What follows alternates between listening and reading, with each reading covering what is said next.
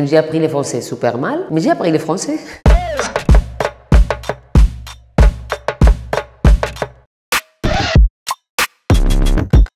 Danseuse, metteur en scène et parfois aussi comédienne.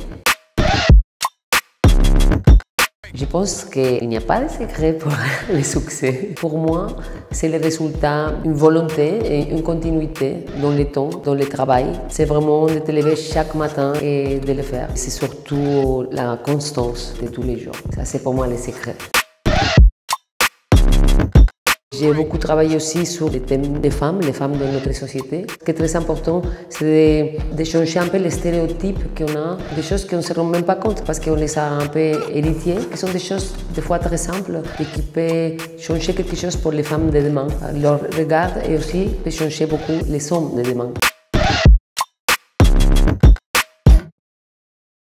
Un chasseur, sachant chasser, doit savoir chasser son, son chat. Oh, ton chien, c'est pas un chat